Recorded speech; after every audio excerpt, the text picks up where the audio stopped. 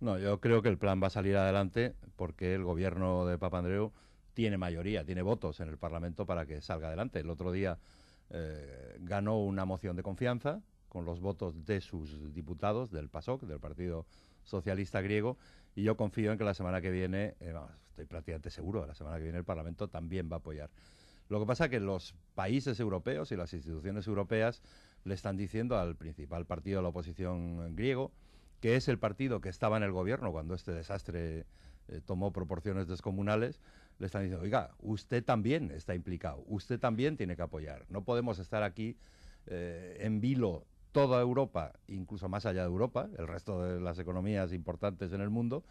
por el hecho de que usted, que fue, o su partido fue, quien estuvo en el origen de este desastre, ahora diga que no quiere mojarse, que no quiere arrimar el hombro y que no quiere votar. Y el resto de los países de la zona euro, claro, eh, no tenemos los problemas eh, que tienen Grecia, Irlanda y Portugal,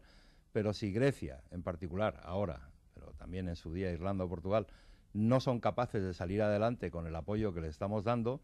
las consecuencias también nos van a llegar.